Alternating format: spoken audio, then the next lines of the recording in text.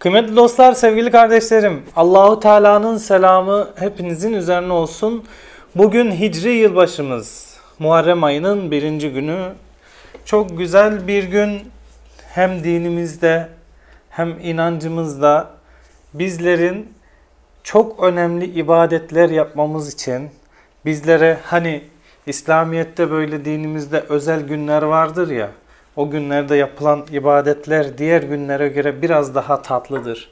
O günlerde yapılan ibadetlerin sevapları diğer günlere göre biraz daha fazladır. Yine Muharrem ayı yani Hicri yılbaşı bu günlerde yapacağımız ibadetlerde yine aynı şekilde Allah'ın izniyle, Allah'ın indinde çok tatlı, çok sevabı yüksek ibadetler. Ben bugün sizlere çok kısa bir terkip, aslında yapması biraz uzun sürüyor ama kolaylık yönünden çok kısa bir terkipten bahsedeceğim.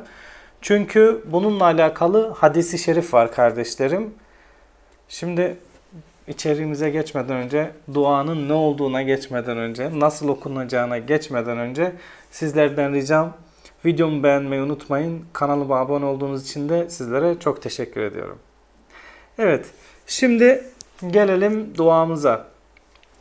Kıymetli dostlar, hadisi şerifte der ki Muharrem ayının birinci gününde yani Hicri yılbaşı gününde İhlas suresini bin defa okuyan kişi evet İhlas suresini bin defa okuyan kişiye kul hakkından kulları olan borcu, kulların hakları olur ya hani kul hakkına gireriz. Bazen istemeyerek olur.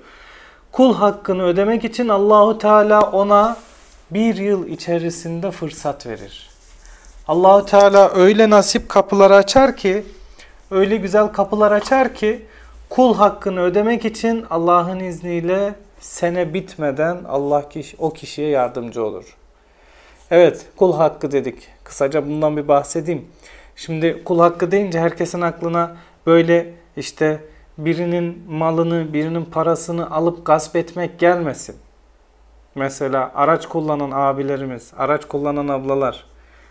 Örneğin trafikte haksız yere bir kişinin önüne geçiyorsanız, haksız yere bir kişiyi sıkıştırıyorsanız, korna çalıp arkasından selektör yapıp rahatsız ediyorsanız bu bir kul hakkıdır.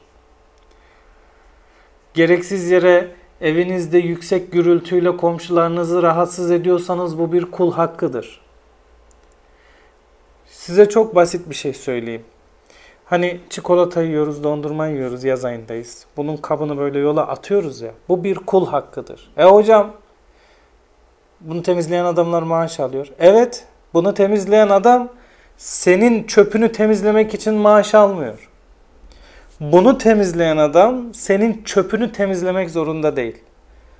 Bunu temizleyen adam çevredeki diğer pisliklerden çevreyi temizlemek zorunda. Ama sen o adama bir defa eğilmek için bile o adama eziyet için bunu yapıyorsan bu bir kul hakkıdır. Ve en kötüsü de ne biliyor musun? Kimin hakkına girdiğini bilmediğin kul hakkı. İşte bu. Bu sadece basit bir örnekti. Apartmanda işte bile bile asansörü pis bırakmak. Ondan sonra hani bu örnekleri siz çoğaltın kafanızda anladın mı? Bizim için bu Muharrem ayı bir ne olsun? Yıl dönümü olsun. Bu Muharrem ayı yeni bir başlangıç olsun. İnşallah.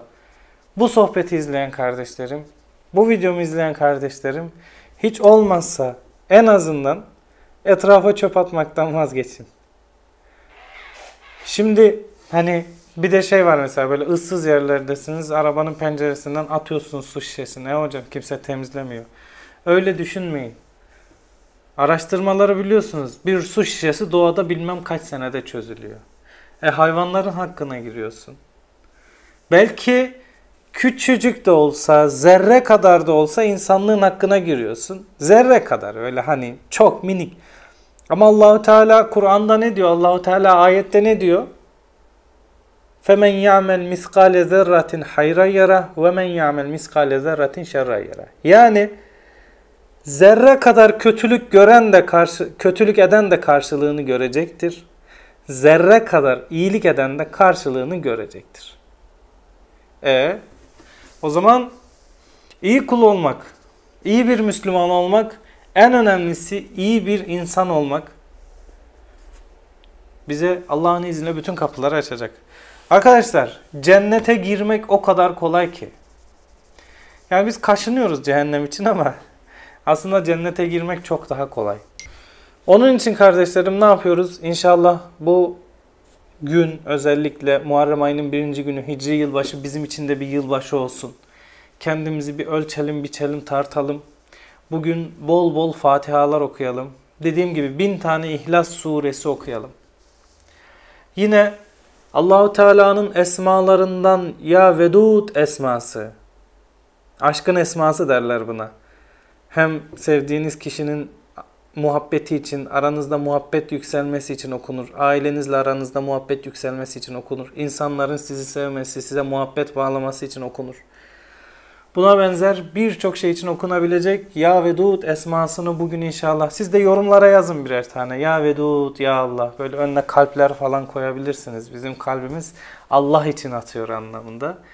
Ya Vedud, Ya Allah. Bugünkü esmamız da bu olsun. Videomu beğenmeyi, kanalıma abone olmayı unutmayın kardeşlerim. Allah'a emanet olun. Kendinize çok iyi bakın.